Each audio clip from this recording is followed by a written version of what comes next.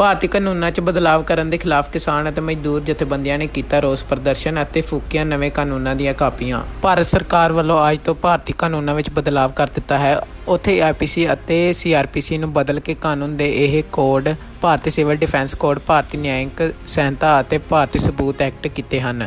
ਨਵੇਂ ਕਾਨੂੰਨ 'ਚ ਕੁਝ ਧਾਰਾਵਾਂ ਨੂੰ ਹਟਾ ਕੇ ਕੁਝ ਨਵੀਆਂ ਧਾਰਾਵਾਂ ਵੀ ਜੋੜੀਆਂ ਗਈਆਂ ਹਨ। ਕਾਨੂੰਨ ਵਿੱਚ ਨਵੀਆਂ ਧਾਰਾਵਾਂ ਸ਼ਾਮਲ ਹੋਣ ਤੋਂ ਬਾਅਦ ਆਮ ਲੋਕਾਂ ਦੇ ਨਾਲ-ਨਾਲ ਪੁਲਿਸ, ਵਕੀਲਾਂ ਅਤੇ ਅਦਾਲਤਾਂ ਦੇ ਕੰਮਕਾਜ ਵਿੱਚ ਵੀ ਕਾਫੀ ਬਦਲਾਅ ਆਉਣ ਵਾਲਾ ਹੈ। ਇਹਨਾਂ ਬਦਲੇ ਕਾਨੂੰਨ ਦੇ ਖਿਲਾਫ ਕਿਸਾਨ ਅਤੇ ਮਜ਼ਦੂਰ ਜਥੇਬੰਦੀਆਂ ਵੱਲੋਂ ਬਟਾਲਾ 'ਚ ਰੋਸ ਪ੍ਰਦਰਸ਼ਨ ਕਰਦੇ ਰੋਸ ਮਾਰਚ ਕੱਢਿਆ ਗਿਆ ਅਤੇ ਨਵੇਂ ਬਣੇ ਕਾਨੂੰਨਾਂ ਦੀਆਂ ਕਾਪੀਆਂ ਵੀ ਫੂਕੀਆਂ ਗਈਆਂ। ਇਸ ਮੌਕੇ ਕਿਸਾਨ ਆਗੂਆਂ ਦਾ ਕਹਿਣਾ ਸੀ ਕਿ ਇਹਨਾਂ ਕਾਨੂੰਨਾਂ ਦੇ ਬਦਲਾਅ ਦੇ ਜ਼ਰੀਏ ਲੋਕਤੰਤਰ ਦਾ ਘਾਣ ਕੀਤਾ ਜਾ ਰਿਹਾ ਹੈ। ਜਮਹੂਰੀ ਹੱਕਾਂ ਨੂੰ ਖੋਇਆ ਜਾ ਰਿਹਾ ਹੈ ਅਤੇ ਪੁਲਿਸ ਤੰਤਰ ਲਾਗੂ ਕੀਤਾ ਜਾ ਰਿਹਾ ਹੈ। ਉਹਨਾਂ ਕਿਹਾ ਕਿ ਭਾਰਤ ਸਰਕਾਰ ਦੇ ਵਿਰੁੱਧ ਇਹਨਾਂ ਕਾਨੂੰਨਾਂ ਨੂੰ ਲੈ ਕੇ ਆਵਾਜ਼ ਬੁਲੰਦ ਕੀਤੀ ਜਾਵੇਗੀ ਅਤੇ ਸੰਘਰਸ਼ ਸ਼ੁਰੂ ਕੀਤਾ ਜਾਵੇਗਾ। ਉਹਨਾਂ ਕਿਹਾ ਕਿ ਕਾਨੂੰਨ ਵਿੱਚ ਕੀਤਾ ਬਦਲਾਅ ਜਨਤਾ ਲਈ ਘਾਤਕ ਹੈ। ਅੱਜ ਜਿਹੜਾ ਰੋਸ ਪ੍ਰਦਰਸ਼ਨ ਹੈ, ਜਿਹੜੇ ਭਾਰਤ ਸਰਕਾਰ ਨੇ ਤਿੰਨ ਨਵੇਂ ਕਾਨੂੰਨ ਲਾਗੂ ਕੀਤੇ ਸੀ, ਕ੍ਰਿਮੀਨਲ ਕਾਨੂੰਨ ਜਿਹੜੇ, ਇਹ ਸਰਕਾਰ ਬਣਨ ਤੋਂ ਪਹਿਲਾਂ ਦੇ ਇਹਨਾਂ ਲਾਗੂ ਕੀਤੇ ਔਰ ਜਦੋਂ ਇਹਨਾਂ ਲਾਗੂ ਕੀਤੇ, ਉਸ ਟਾਈਮ ਤੇ 100 ਤੋਂ ਵੱਧ ਇਹਨਾਂ ਨੇ ਜਿਹੜਾ ਐਮਪੀ ਸੀ ਉਹ ਬਰਖਾਸਤ ਕਰਕੇ ਇਕੱਲੇ ਆਪਣੀ ਪਾਰਟੀ ਨੇ, ਇੱਕੋ ਪਾਰਟੀ ਨੇ ਉਹ ਲਾਗੂ ਮਤਲਬ ਬਣਾ ਲਏ ਉਹ ਕਾਨੂੰਨ।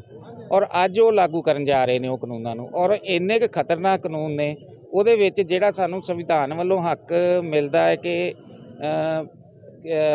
ਬੋਲਣ ਦਾ ਹੱਕ ਐਕਸਪ੍ਰੈਸ ਕਰਨ ਦਾ ਹੱਕ, ਉਹ ਸਾਰੇ ਇਹਨਾਂ ਖਤਮ ਕਰਤੇ, ਧਰਨਾ ਦੇਣ ਦਾ, ਕੋਈ ਆਪਣੀ ਆਵਾਜ਼ ਚੁੱਕਣ ਦਾ ਹੱਕ। ਜੇ ਮੰਨ ਲਓ ਆਪਾਂ ਕੋਈ ਪੁਲਿਸ ਅਫਸਰ ਜਾਂ ਕੋਈ ਅਫਸਰ ਆਪਣੇ ਨਾਲ ਧੱਕਾ ਕਰਦਾ ਹੈ, ਤੇ ਅਸੀਂ ਉਹਦਾ ਸਗਾਸਾ ਤੱਕ ਨਹੀਂ ਕਰ ਸਕਦੇ। ਜੇ ਸਗਾਸਾ ਕਰਨ ਜਾਵਾਂਗੇ ਤੇ ਇੱਕ ਜੱਜ ਜਿਹੜਾ ਵਾ, ਉਹ ਐਸਐਸਪੀ ਨੂੰ ਪੁੱਛੇਗਾ ਵੀ ਮੈਂ ਕਰਾਂ ਕਿ ਨਾ ਕਰਾਂ। ਮਤਲਬ ਕਿ ਪੁਲਿਸ ਨੂੰ ਇੰਨੀ ਜ਼ਿਆਦਾ ਪਾਵਰ ਦੇਤੀ ਆ ਔਰ ਜੁਡੀਸ਼ੀਅਲ ਦੀ ਪਾਵਰ ਘਟਾਤੀ ਆ, ਔਰ ਇੱਕਦਮ ਹੀ ਇੰਨੀ ਕਾਲੀ ਨਾਲ ਇਹ ਕਰ ਰਹੇ ਨੇ ਲਾਗੂ। ਕਿਸੇ ਨਾਲ ਇਹਦੀ ਸਲਾਹ ਨਹੀਂ ਕੀਤੀ। ਸਾਡਾ ਕਹਿਣਾ ਹੈ ਕਿ ਇਹਦੇ ਵਿਚਾਰ ਕੀਤਾ ਜਾਵੇ ਲਾਗੂ ਕਰਨ ਤੋਂ ਪਹਿਲਾਂ। ਜਿੰਨੇ ਹੁਣ ਇਹਨਾਂ ਦੇ ਐਮਪੀ ਬਣੇ ਨੇ, ਸਾਰਿਆਂ ਦਾ ਇੱਕ ਸੈਸ਼ਨ ਬੁਲਾ ਕੇ ਉੱਥੇ ਗੱਲਬਾਤ ਹੋਵੇ ਚੰਗੀ ਤਰ੍ਹਾਂ ਇਹਨਾਂ ਦੀ। ਸਾਰੇ ਸਟੇਟਾਂ ਨਾਲ ਗੱਲਬਾਤ ਹੋਏ ਸੀਐਮ ਦੇ ਨਾਲ। ਸਾਰਿਆਂ ਨਾਲ ਸਲਾਹ ਕਰਕੇ ਅਸੀਂ ਤੇ ਚਾਹੁੰਦੇ ਕਿ ਲੋਕਾਂ ਨਾਲ ਵੀ ਕੁਝ ਵਿਚਾਰ ਕੀਤਾ ਜਾਏ, ਨੁਮਾਇੰਦੇ ਜਿਹੜੇ ਲੋਕਾਂ ਦੇ, ਉਹਨਾਂ ਨਾਲ ਵਿਚਾਰ ਕੀਤਾ ਜਾਏ। ਨਹੀਂ ਕਰਨਾ ਤੇ ਖੁਦ ਜਿਹੜੇ ਅਸੀਂ ਜਿਤਾ ਕੇ ਉੱਥੇ ਭੇਜੇ, ਉਹਨਾਂ ਨਾਲ ਤੇ ਗੱਲ ਕਰ ਲਓ। ਜਿਹੜੇ ਅਸੀਂ ਸੀਐਮ ਬਣਾਏ, ਜਿਹੜੇ ਅਸੀਂ ਐਮਪੀ ਬਣਾਏ ਆ, ਇਹ ਉਹਨਾਂ ਨਾਲ ਵੀ ਨਹੀਂ ਗੱਲ ਕਰ ਰਹੇ। ਇੱਥੇ ਤੱਕ ਕਿ ਮਮਤਾ ਬੈਨਰਜੀ ਔਰ ਹੋਰ ਸਾਊਥ ਦੇ ਜਿਹੜੇ ਸੀਐਮ, ਉਹਨਾਂ ਨੇ ਲੈਟਰ ਲਿਖੀ ਹੈ ਕਿ ਇਹਨਾਂ ਨੂੰ ਨਾ ਲਾਗੂ ਕਰੋ, ਖਤਰਨਾਕ ਕਾਨੂੰਨ ਜਿਹੜੇ ਆ, ਇਹਨਾਂ ਤੇ ਮੁੜ ਵਿਚਾਰ ਕਰ ਲਓ ਔਰ ਫਿਰ ਲਾਗੂ ਕਰੋ। ਪਰ ਇਹ ਇੰਨੀ ਜਲਦਬਾਜ਼ੀ ਜਿਹੜਾ ਲਾਗੂ ਕਰਦੇ ਇਹ ਤੇ ਸਿੱਧਾ ਹੀ ਦੱਸਦਾ ਨਾ ਕਿ ਇਹ ਗਲਤ ਹੈ ਧੱਕੇਸ਼ਾਹੀ ਹੈ ਲੋਕਾਂ ਦੀ ਆਵਾਜ਼ ਕੁਚਲਣ ਦੀ ਗੱਲ ਹੈ ਨਾ ਉਹਦੇ ਵਿੱਚ ਹੁਣ ਕਿਸੇ ਨੂੰ ਵਾਰੰਟ ਦੀ ਲੋੜ ਆ। ਪਹਿਲਾਂ ਆਪਾਂ ਦੇਖੋ ਐਸਐਚਓ ਕੋ ਜਾਂਦੇ ਆ ਜਾਂ ਕਿਸੇ ਕੋ ਜਾਂਦੇ ਆ ਨਾ, ਕੋਈ ਪਰਚਾ ਨਹੀਂ ਸੀ ਦਰਜ ਕਰਦੇ ਜਾਂ ਗਲਤ ਕਰ ਦਿੰਦੇ ਸੀ। ਉਹਨਾਂ ਦਾ ਸਾਨੂੰ ਇਹ ਜਵਾਬ ਹੁੰਦਾ ਹੈ ਵੀ ਜੋ ਸਾਡੇ ਉੱਪਰਲੇ ਅਫਸਰ ਕਹਿੰਦੇ ਅਸੀਂ ਉਹ ਕਰਨਾ। ਸਾਡਾ ਉਹਨਾਂ ਨੂੰ ਇਹ ਹੁੰਦਾ ਹੈ ਕਿ ਤੁਸੀਂ ਕਾਨੂੰਨ ਦੇ ਹਿਸਾਬ ਨਾਲ ਚੱਲੋ। ਅਫਸਰਾਂ ਦੀ ਕਿਹੜੀ ਗੱਲ ਆ? ਕਾਨੂੰਨ ਦੇ ਹਿਸਾਬ ਨਾਲ ਚੱਲੋ। ਪਰ ਇਹਨਾਂ ਨੇ ਹੁਣ ਕਾਨੂੰਨ ਹੀ ਬਣਾਤਾ ਵੀ ਉਹਨਾਂ ਦੀ ਮਰਜ਼ੀ। ਹੁਣ ਆਪਾਂ ਜੇ ਉਹਨਾਂ ਨੂੰ ਕਹੋ ਕਾਨੂੰਨ ਦੇ ਹਿਸਾਬ ਨਾਲ ਉਹ ਕਹਿਣਗੇ ਕਿ ਸਾਡਾ ਤੇ ਕਾਨੂੰਨ ਬਣ ਗਿਆ ਵੀ ਸਾਡੀ ਮਰਜ਼ੀ ਅਸੀਂ ਪਰਚਾ ਦਰਜ ਕਰੀਏ। 7 ਸਾਲ ਦੀ ਸਜ਼ਾ ਥੱਲੇ ਕਰੀਏ, ਨਾ ਕਰੀਏ, ਉਹ ਸਾਡੀ ਮਰਜ਼ੀ ਆ। ਔਰ ਦੇਖੋ, ਹੁਣ ਨੀਟ ਦਾ ਪੇਪਰ ਲੀਕ ਹੋਇਆ। ਨੀਟ ਦਾ ਪੇਪਰ ਲੀਕ ਹੋਇਆ, ਲੋਕ ਆਪਣੀ ਆਵਾਜ਼ ਚੁੱਕ ਰਹੇ ਨੇ, ਉਹ ਇਕੱਠੇ ਹੋ ਕੇ ਕਿਤੇ ਪ੍ਰੋਟੈਸਟ ਕਰਦੇ ਨੇ। ਇਹਨਾਂ ਨੇ ਪੁਲਿਸ ਨੂੰ ਇੰਨੀ ਕੁ ਪਾਵਰ ਦੇ ਦਿੱਤੀ ਕਿ ਜੇ ਕੋਈ ਏਐਸਆਈ ਜਾਂ ਐਸਐਚਓ ਕੋਈ ਵੀ ਉਸ ਉਹਨਾਂ ਦੇ ਪ੍ਰੋਟੈਸਟ ਦੇ ਨੂੰ ਰੋਕਣ ਲਈ ਖੜਾ ਹੈ, ਤੇ ਉਹਦੇ ਕੋਲ ਪਾਵਰ ਹੈ, ਉਹ ਲਾਠੀ ਚਾਰਜ ਵੀ ਕਰ ਸਕਦਾ, ਗੋਲੀ ਵੀ ਚਲਾ ਸਕਦਾ, ਉਹ ਉਹ ਕੋਈ ਮੁਲਜ਼ਮ ਨਹੀਂ ਹੈਗਾ। ਇਹ ਕੱਲਾ ਇਹ ਨਹੀਂ ਹੈ ਕਿ ਕਿਸਾਨਾਂ ਨੂੰ ਹੀ ਦਬਣਾ, ਇਹ ਮਤਲਬ ਇਹਨਾਂ ਨੇ ਆਵਾਜ਼, ਹਰ ਇਨਸਾਨ ਦੀ ਆਵਾਜ਼ ਨੱਪਤੀ ਹੈ ਵੀ ਕੋਈ ਆਵਾਜ਼ ਆਪਣੀ ਕੱਢ ਨਹੀਂ ਸਕਦਾ, ਕੋਈ ਸਰਕਾਰ ਦੇ ਖਿਲਾਫ ਨਹੀਂ ਬੋਲ ਸਕਦਾ।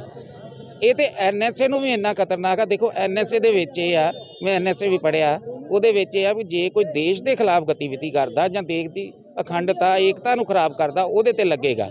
ਔਰ ਇਹ ਜਿਹੜੇ ਇਹਨਾਂ ਕਾਨੂੰਨ ਕਰਤੇ, ਇਹ ਤੇ ਇਹਨਾਂ ਸਿੱਧਾ ਵਿੱਚ ਲਿਖਤਾ ਵੀ ਜੇ ਸਰਕਾਰ ਦੇ ਨਾਲ ਕੋਈ ਸਹਿਮਤ ਨਹੀਂ, ਸਰਕਾਰ ਦੇ ਖਿਲਾਫ ਬੋਲਦਾ ਤੇ ਉਹਦੇ ਤੇ ਉਮਰ ਕੈਦ ਦੀ ਸਜ਼ਾ, ਮੌਤ ਦੀ ਸਜ਼ਾ ਤੱਕ ਇਹਨਾਂ ਦੇ ਦਿੱਤੀ ਹੈ, ਜੋ ਜਿੱਥੇ ਤੱਕ ਮੈਂ ਪੜਿਆ ਹਜੇ ਪੂਰਾ ਪੜਿਆ ਨਹੀਂ, ਕਿਉਂਕਿ ਦੇਖੋ, ਵਕੀਲ ਵੀ, ਜੱਜ ਵੀ, ਸਾਰੇ ਉਹ ਵੀ ਸਟ੍ਰਾਈਕ ਤੇ ਜਾ ਰਹੇ, ਉਹ ਵੀ ਕਹਿ ਰਹੇ ਆ ਵੀ ਹੁਣ ਤੁਸੀਂ ਸਾਨੂੰ ਦੱਸੋ ਵੀ ਇਹ ਕੇਸ ਚੱਲਣਗੇ ਕਿੱਦਾਂ? ਜਿਹੜੇ ਪਹਿਲੇ ਕੇਸ ਚੱਲਦੇ ਆ, ਉਹ ਹੁਣ ਪਹਿਲੀਆਂ ਧਾਰਾਵਾਂ ਤੇ ਚੱਲਣਗੇ ਕਿ ਇਹਨਾਂ ਤੇ ਚੱਲਣਗੇ ਜਾਂ ਦੋਵੇਂ ਚੱਲਣਗੇ, ਅਸੀਂ ਕੀ ਕਰਾਂਗੇ? ਕੁਝ ਟਾਈਮ ਤੇ ਦਿਓ। ਸਾਡੀ ਮੰਗ ਇਹ ਆ ਕਿ ਇਹ, ਸਾਡੀ ਇਹਨਾਂ ਨੂੰ ਇਹ ਅਪੀਲ ਆ ਵੀ ਜਿਹੜੀ ਇਹ, ਇਸ ਕਾਨੂੰਨ ਤੇ ਮੁੜ ਵਿਚਾਰ ਕੀਤਾ ਜਾਵੇ। ਇਹਨੂੰ ਲਾਗੂ ਕਰਨ ਤੋਂ ਪਹਿਲਾਂ ਅੱਜ ਇਹਨੂੰ ਲਾਗੂ ਨਾ ਕੀਤਾ ਜਾਵੇ। ਇਹ ਤੇ ਦੁਬਾਰਾ ਵਿਚਾਰ ਸੈਸ਼ਨ ਬੁਲਾ ਕੇ ਸੈਸ਼ਨ ਦੇ ਵਿੱਚ ਬਕਾਇਦਾ ਇਹਦੇ ਤੇ ਸਾਰੀ ਗੱਲਬਾਤ ਹੋਏ ਔਰ ਉਹ ਵੀ ਇਹ ਨਹੀਂ ਵੀ ਕੱਲ ਨੂੰ ਵਿਚਾਰ ਕਰ ਲੈਣ, ਮੌਕਾ ਦੇਣ ਪਹਿਲਾਂ ਸਾਰਿਆਂ ਨੂੰ ਪੜਨ ਦਾ। ਉਸ ਤੋਂ ਬਾਅਦ ਜੱਜਾਂ ਨਾਲ, ਵਕੀਲਾਂ ਦੇ ਨਾਲ ਸਲਾਹ ਕਰਕੇ, ਜਿਹੜੇ ਕੋਈ ਲੋਕਾਂ ਦੇ ਨੁਮਾਇੰਦੇ ਉਹਨਾਂ ਨਾਲ ਸਲਾਹ ਕਰਕੇ, ਵਿਚਾਰ ਕਰਕੇ, ਸੀਐਮ ਜਿਹੜੇ ਸਟੇਟ ਦੇ ਉਹਨਾਂ ਨਾਲ ਵਿਚਾਰ ਕਰਕੇ ਇਹਨੂੰ ਟਾਈਮ ਲੈ ਲੈਣ ਥੋੜਾ ਐਡੀ ਵੱਡੀ ਗੱਲ ਕਰਨ ਲੱਗੇ, ਕੋਈ ਛੋਟੀ ਜੀ ਗੱਲ ਹੈ। ਇਹ ਕਾਨੂੰਨ ਥੋੜਾ ਬਦਲਨੇ ਇਕੱਲਾ ਹੀ ਸਿੱਧਾ ਸੰਵਿਧਾਨ ਵੀ ਬਦਲ ਗਿਆ ਇਹਦੇ ਨਾਲ। ਸੰਵਿਧਾਨ ਜਿਹੜੇ ਸਾਨੂੰ ਹੱਕ ਦਿੰਦਾ ਉਹ ਵੀ ਬਦਲ ਗਿਆ ਇਹਦੇ ਨਾਲ।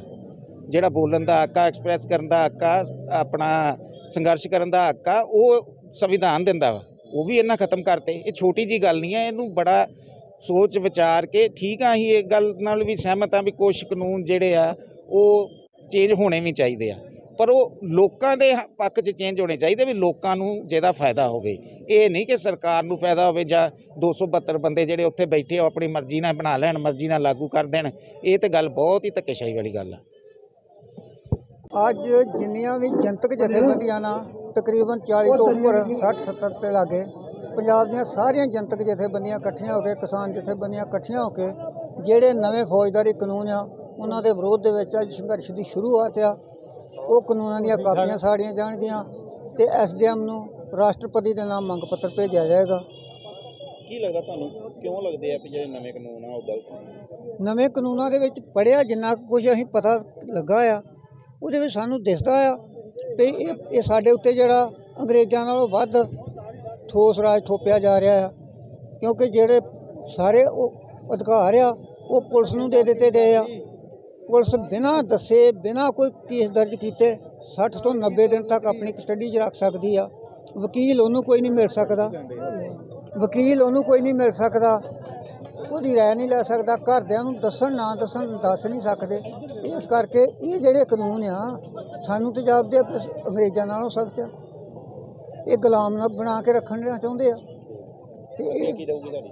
ਅੱਗੇ ਜੋ ਇਸ ਤੋਂ ਬਾਅਦ 21 ਨੂੰ ਜਲੰਧਰ ਦੇ ਵਿੱਚ ਵਿਸ਼ਾਲ ਕਾਨਫਰੰਸ ਕਰਕੇ ਸਮੁੱਚੀਆਂ ਜਥੇਬੰਦੀਆਂ ਤੇ ਉੱਥੇ ਵੱਡਾ ਮਾਰਚ ਕਰਨਗੀਆਂ ਤੇ ਜੋ ਅਗਲੇ ਸੰਘਰਸ਼ ਸ਼ੁਰੂ ਕਰਨਗੀਆਂ, ਉਹਦੇ ਨਾਲ ਹੈ, ਪੂਰਾ ਦੇਸ਼ ਪੱਧਰ